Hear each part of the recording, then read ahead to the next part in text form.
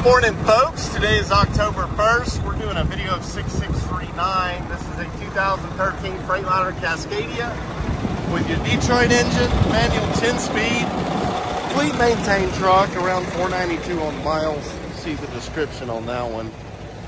Air slide fifth, air suspension dump. Really nice, clean, chromed out truck.